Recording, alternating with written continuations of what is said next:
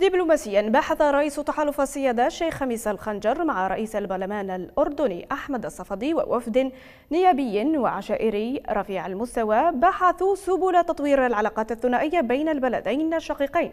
جاء ذلك خلال استقبال الشيخ الخنجر للصفدي والوفد المرافق له من قيادات سياسية وأخرى عشائرية في مقر تحالف السيادة بالعاصمة بغداد.